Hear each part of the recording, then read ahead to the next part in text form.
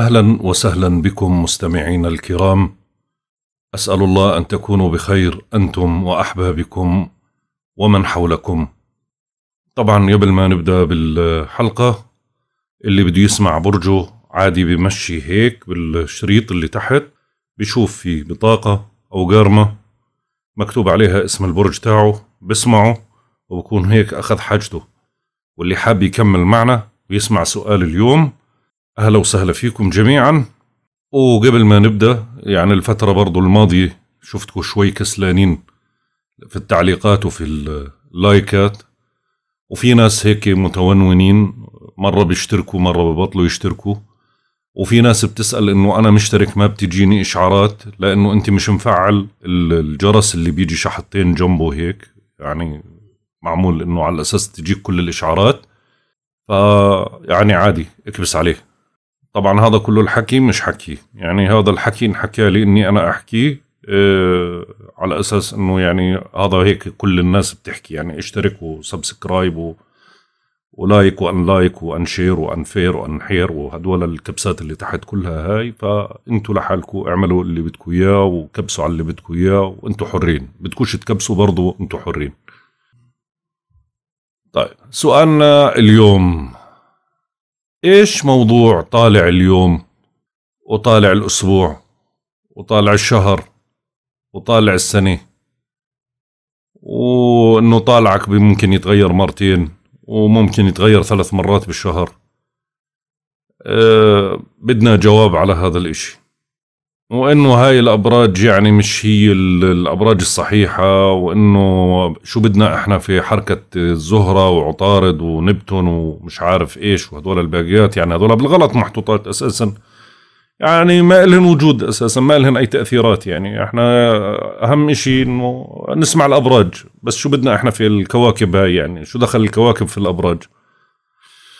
آه يا حصرتي. طيب. أول إشي عشان اللي حكى المسألة هاي وحكى في الموضوع هذا وأنا مش عارف مين هو بصراحة يعني لأنه يعني كان نفسي أعرف مين هو هذا الشخص أو شو هالعلم الفتاك أو العنيف اللي دخل فيه أو المعلومات اللي يعني جابها من ذيلها زي ما بيحكوها. فيعني ما بقدر أنا أعلق عليه أو على علمه أو على أي إشي فيه لأني ما بعرف مين هو أساسا. بس أنا إجاني السؤال. طيب. أما بالنسبة للموضوع اللي هو حكى فيه آه، فأنا بحكي أول إشي على حسب رأيي على حسب تحليلي أنا لأني أنا ما بعرف مين الشخص. ولكن اللي بيحكي في هيك أسلوب مية في المية هذا واحد منتفع. يعني بيعمل استشارات بحجز استشارات وبعمل استشارات بفلوس وبده يقنعك ببضاعته على إنه هو أحسن بضاعة موجودة عنده عشان أنت تشتري من عنده. هذا المختصر. ليش؟ لأنه اولا هو ما جاب إشي جديد يعني ما اكتشف إشي والله إحنا ما بنعرف فيه والله طلع بمعلومة فتاكي أو هو اجتهد في علم الفلك ووصل للمعلومة هاي فيعني واو! فاخترق القاعدة الفلكية الجديدة. هو هاي أنا أحكي لكم إياها موضوع. هاي في إشي إحنا عنا في علم الفلك لما أنا باجي بدي أطلع على خارطة بني آدم اجى يستشيرني في مسألة حساسة؟ فبيجي بقول لي والله أنا خارطتي آه تاريخ ميلادي وساعة الميلاد ومكان الولادة والمكان اللي أنا انولدت فيه وأنا عايش في المكان الفلاني. فباجي أنا بفتح خارطة الميلاد تاعته وبفتح خارطة ثانية فلكية للمكان اللي هو عايش فيه إله نفسه للشخص نفسه للبلد اللي هو عايش فيها اللي هي اليوم. فبحط الخارطتين على بعض. بشوف أول إشي أنا تحولات الكواكب. إنه لما انولد مثلا كان عنده الزهرة بالأسد هسه اليوم الزهرة عنده مثلا موجودة بالحمل عاملة زاوية تثليث. طيب الزهرة وين موجودة؟ موجودة في بيته الثالث. يعني والله بيته الثالث هذا للاتصالات وللسفريات وللتنقلات وللمش عارف إيش. وبما إنه عامل زاوية تثليث مع بيته الخامس يعني الزلمة راح يكون محظوظ وعنده مال وعنده أمور كويسة هاي الفترة ومشاريع ممتازة جدا. عمل زاوية سلبية بدنا نحكي له نفس الإشي. بنطلع إحنا تحولات القمر وين انولد لما كان ساعة ميلاده؟ والقمر وين انولد الفترة هاي؟ أو وين موجود الفترة هاي؟ فبنشوف تحولاته. وعامل زاوية القمر مع القمر ولا لا؟ والكوكب حاكم ولا مش حاكم؟ يعني مش هالإشي ال big deal أو الإشي اللي حطم القيود فيها.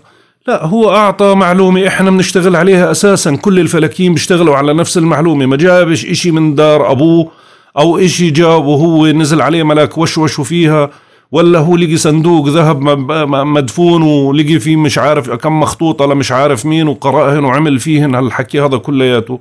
هاي قاعدة علم الفلك وحساب الفلكي للي بيشتغل صح مش للي بيشتغلوا على مبدأ إنه برنامج ويطلع له المعلومات أو يفسر له المعلومات.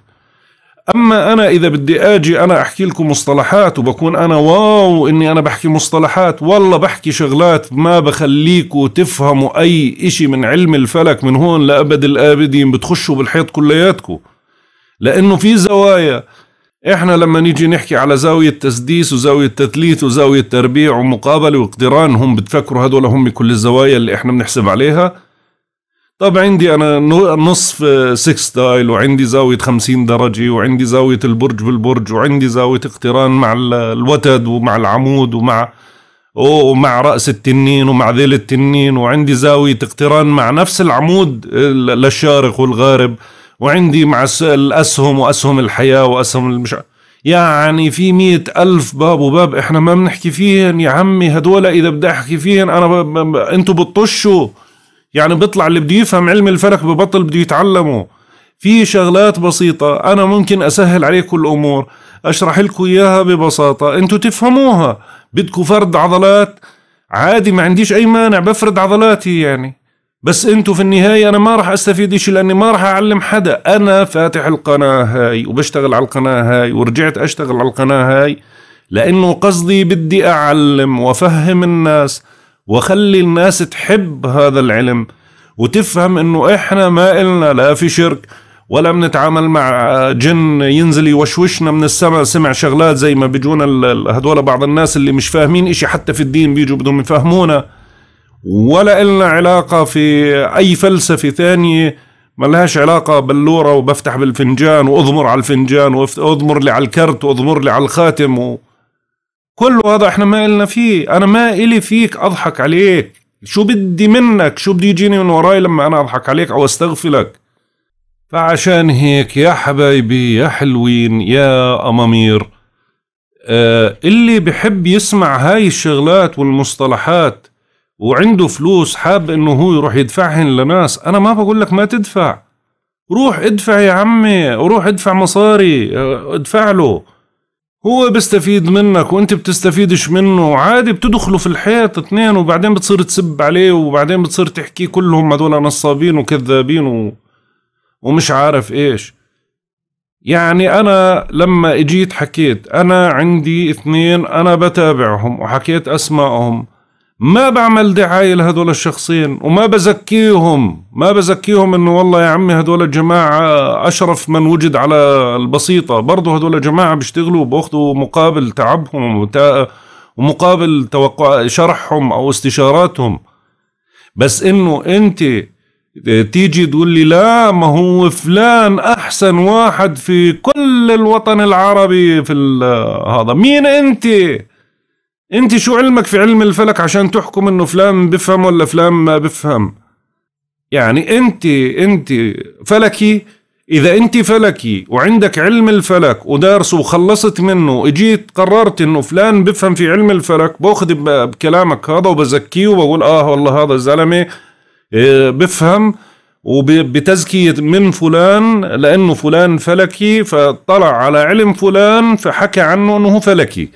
اما والله أنا الزلمة هون لأنه بيحكي مصطلحات ولأنه بشبح وبفرد ذرعانه في الكلام. أجي أقول إنه أحسن واحد؟ لا أنا ما بحكم عليه هيك. أنا إذا ما حطيته على محك البرهان وشفته كيف بيشتغل وكيف بيشرح وكيف المعلومات جابها وعلى أي علم بيستند الدليل تبعه إيش هو؟ دليله العلمي إيش هو؟ ما بقيمه. وصلت كل معلومة. أنا بنصحكم جميعا.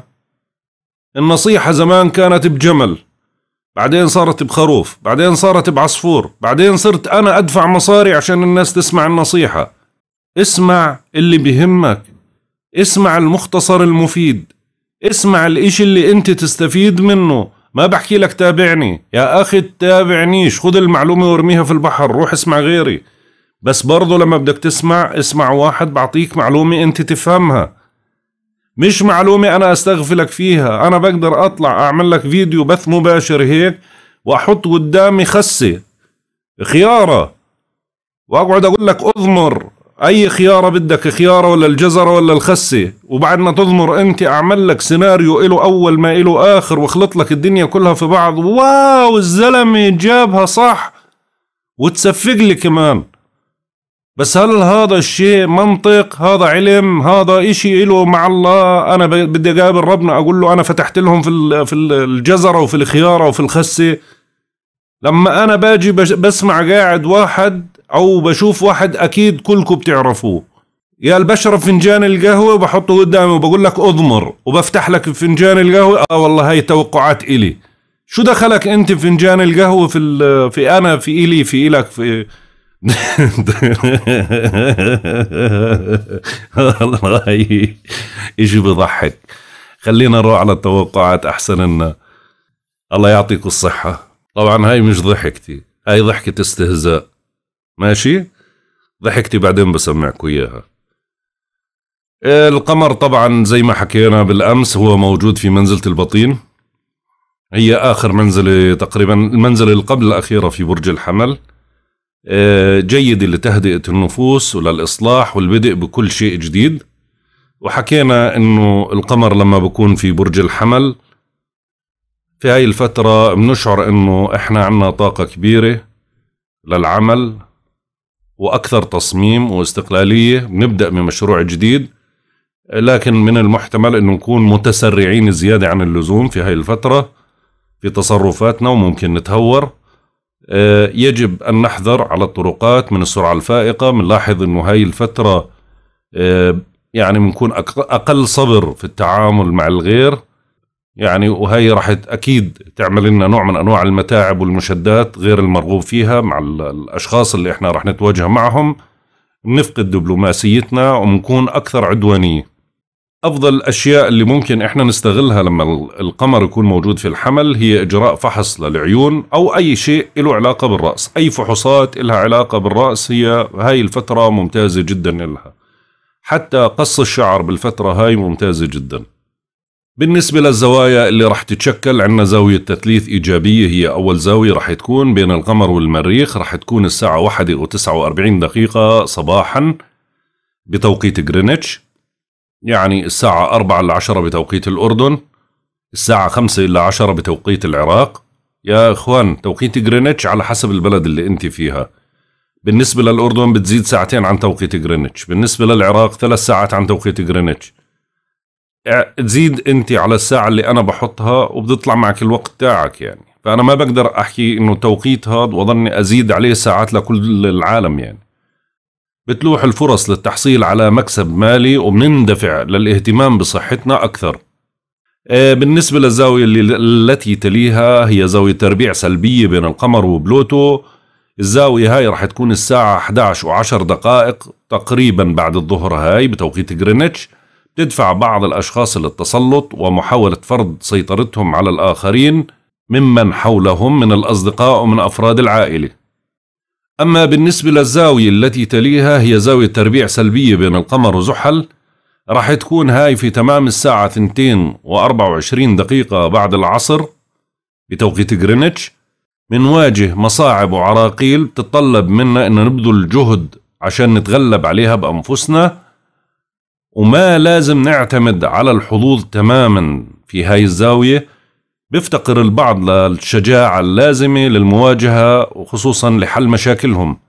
فبيلجؤوا للهروب للماضي بدل من مواجهة الحاضر. يعني بمعنى آخر اثنين بكونوا يتناقشوا في مشكلة أو مصيبة فهو ما بقدر يجي يقول لك أنا عملت هذا الغلط بسبب واحد اثنين ثلاثة أربعة. بيجوا بيقولوا لا ما أنت متذكر قبل عشر سنوات لما صار كذا كذا. أنت شو عملت؟ متذكر المشكلة لما صارت.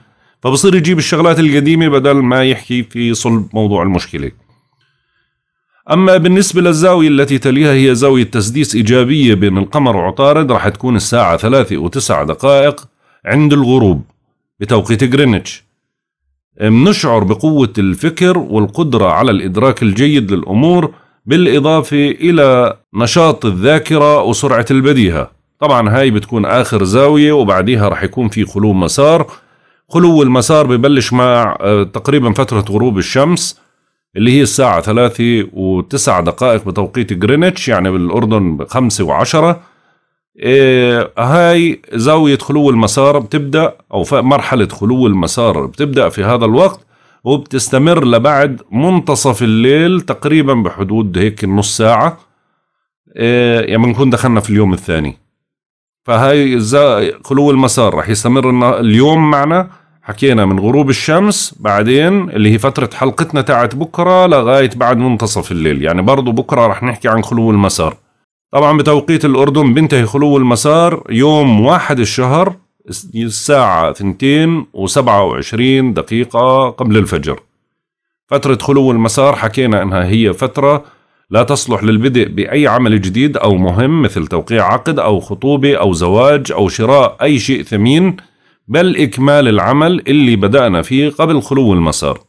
بالنسبة لعمر القمر القمر هلال لسه بيتجه هو بالاكتمال للربع.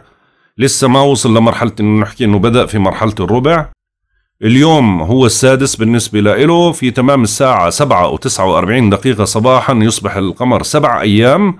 نسبة الإضاءة 32% بالنسبة لمزاج الكواكب وطباعها وتحركاتها خلال الفترة القادمة الشمس في الدلو حتى 19 2 المزاج ممتزج القمر في الحمل حتى واحد اثنين المزاج ممتزج عطارد في الدلو حتى ثلاثة اثنين المزاج ممتزج الزهرة في الحوت حتى سبعة اثنين المزاج سعيد المريخ في القوس حتى 16 اثنين المزاج سعيد المشتري في الجدي حتى 14 خمسة المزاج سعيد زحل في الجدي حتى 11 خمسة المزاج سعيد أورانوس في الثور حتى 15 ثمانية المزاج ممتزج نبتون في الحوت حتى 23 ست المزاج سعيد بلوتو في الجدي حتى 25 أربعة المزاج ممتزج.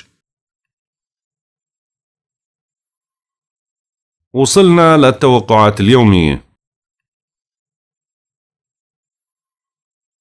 برج الحمل ثقتكم بنفسكم كبيرة وبعمق النشاط اليوم. بتسيطروا على زمام الأمور وبتنجحوا في الدفع بمصالحكم. تهتم بمظهرك وبالتغييرات. ممكن تعمل قصة شعر أو تغير أو تجميل أو أي شيء له علاقة بهذا الموضوع. هاي فترة انطلاق لمشاريعك الجديدة.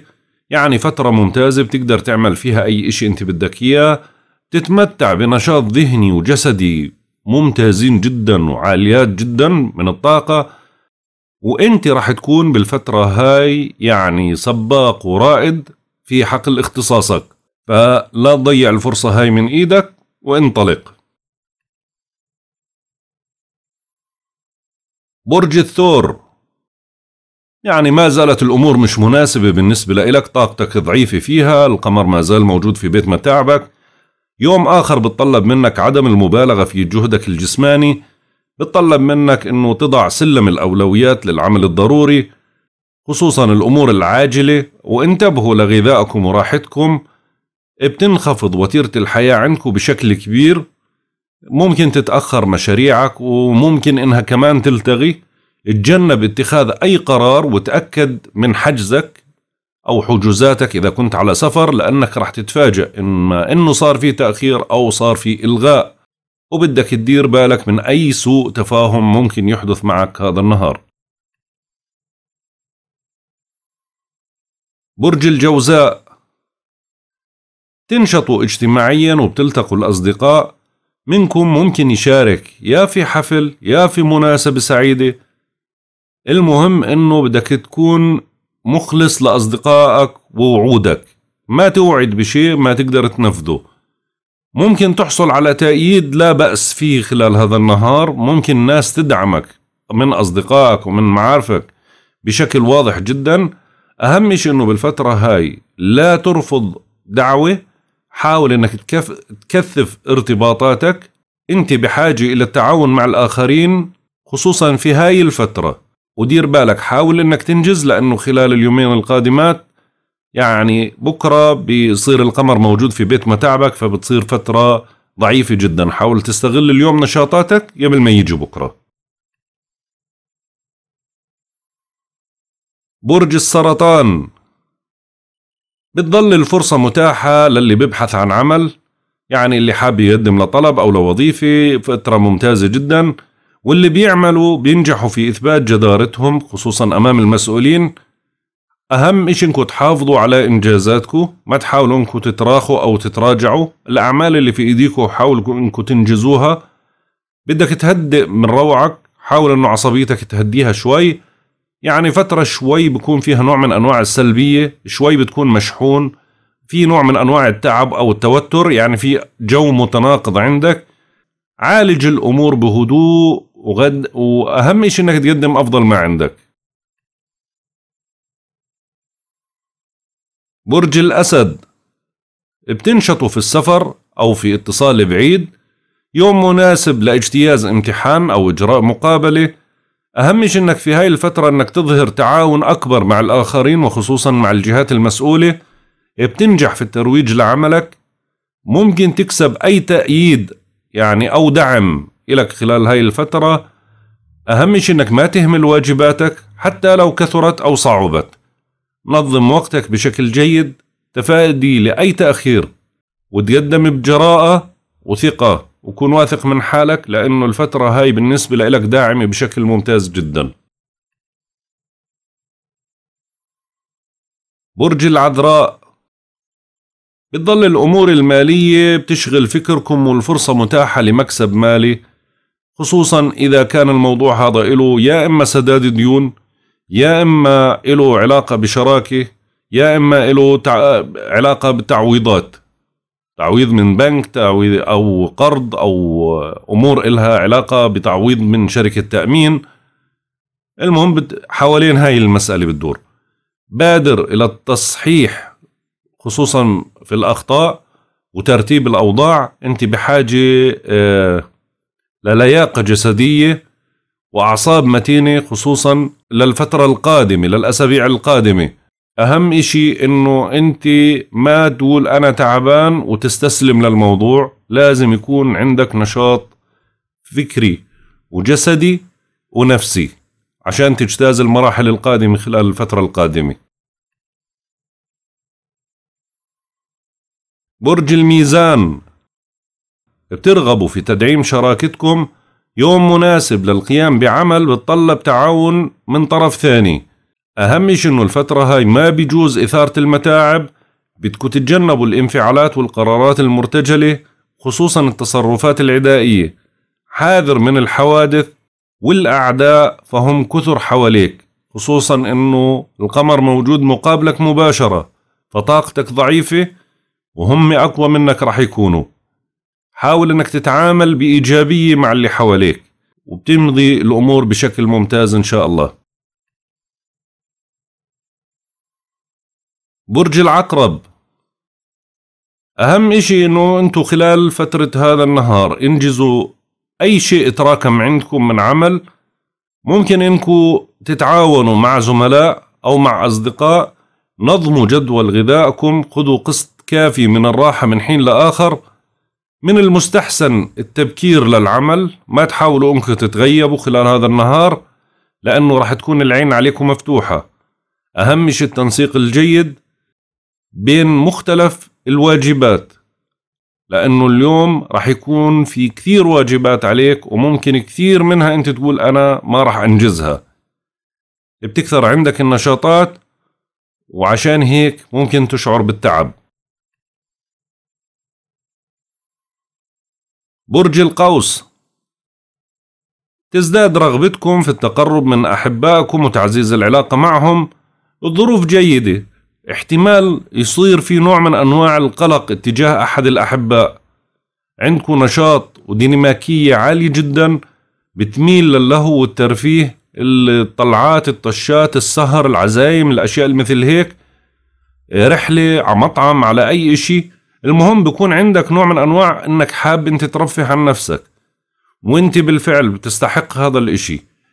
أهم شيء علاقتك مع أحبائك الاتصال معهم حاول أنه تقلب الجو هذا يكون في كثير من الحظوظ والمرح والعاطفة. تقدر تتخذ قرار آه أنت كنت متردد فيه فاليوم هذا مناسب لاتخاذ قرار أو خطوة مفيدة أنت بتستحقها أو مقدم عليها. برج الجدي.